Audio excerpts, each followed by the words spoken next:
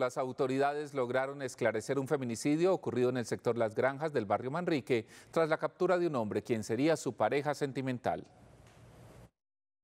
En el municipio de Gómez Plata fue capturado por la SIGIN el hombre sindicado del asesinato de una mujer el pasado 7 de mayo en el barrio Manrique de Medellín.